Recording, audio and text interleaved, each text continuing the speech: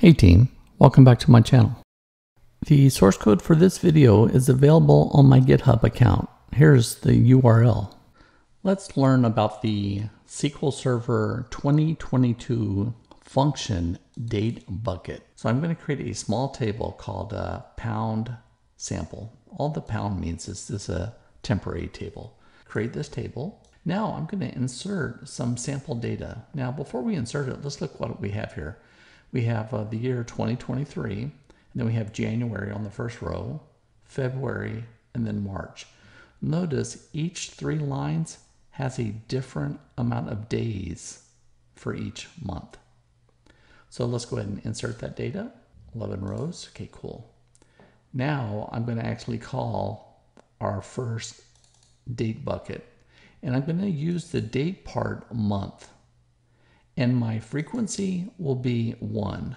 Now, event date is the name of our column. And then you can see I'm going to get the count. I'm going to get the number of days in the month. So then I'm going to group by the date bucket, the same command I have here. And then I'm going to order by the bucket. Let's see what happens here. So you can see here that I have uh, January, February, March, and then I have uh, four days, two days, and five days. So you can see four, two, and five. You can see that. Now, how did it know to start on January the 1st? And then the next bucket, February the 1st. And then the third bucket is in March. Now, let's go back to the signature. Notice optionally I said the origin, the date that we kind of want this pattern to begin with to start creating a sequence is in the year 1900, January the 1st. Now using that pattern, I can then create monthly buckets. Now that might be complicated right now, but I'm going to show you something that will clear that up. So in my second example, notice uh, one, two, three. So the fourth parameter is the origin. Remember, it's optional. If it's if you leave it out, I use that 1900 date. So here I'm saying I want the dates to begin using the pattern 2000 April the 1st. Now when I run this, what do you expect to happen? Well, it looks like I'm using the year, the month, and I want my period for month to begin on the 1st.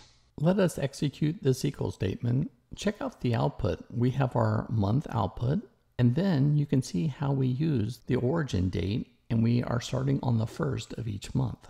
But what if I say, hmm, I want all my patterns to begin with on the 18th? So what does that mean? Well, that means my month doesn't begin on the first, it begins on the 18th. And that's how I want all my buckets to be created. So all my months, the month day begins on the 18th. Now when I execute this, let's see the change. Wow, look at this, changed quite a bit.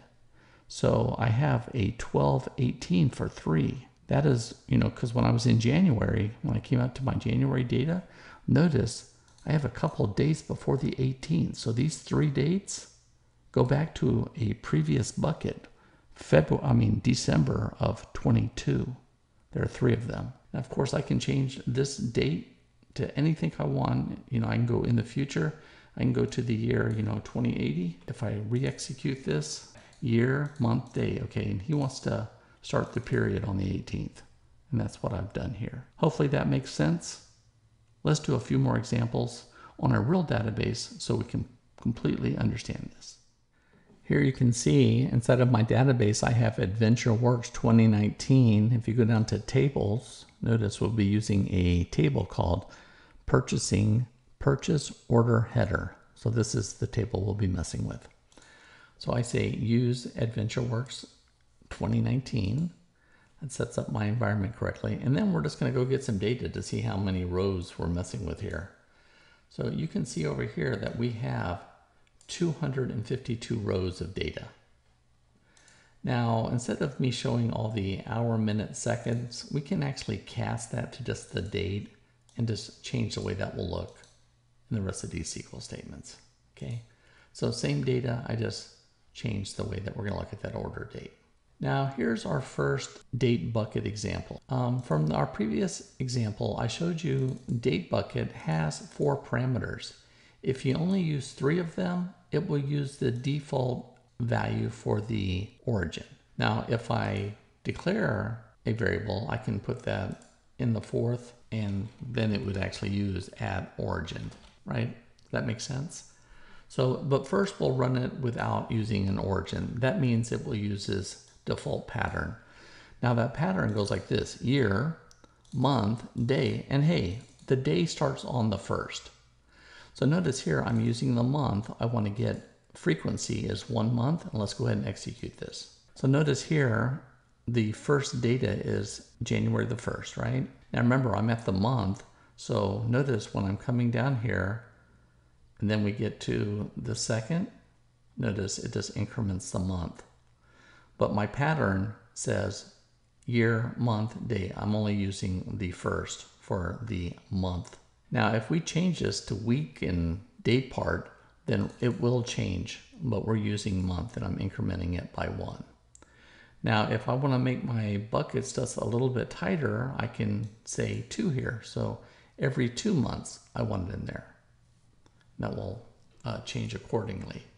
So here, this is just an example to either use the default value when it's not being used, or if I want to use my own, you know, like bring your own origin date, then uh, we can put that in there.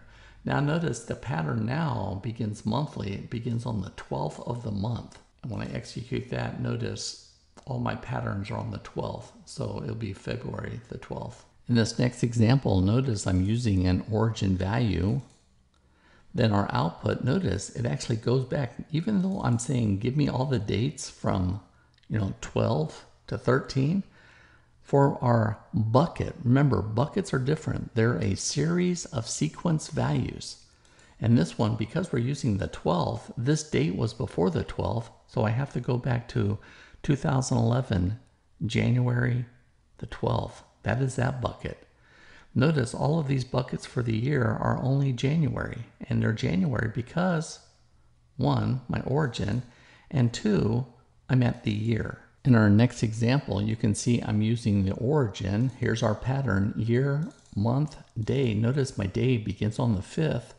I'm saying months. Now my frequency now is every three months. So I come down there and I look at my output and notice we have January the 5th, three months later, April the 5th, three months later, July the 5th. I think you're starting to get this. Now, instead of using month, I could actually say quarter.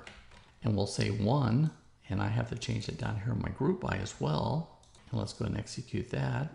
And guess what? We're getting the same periods.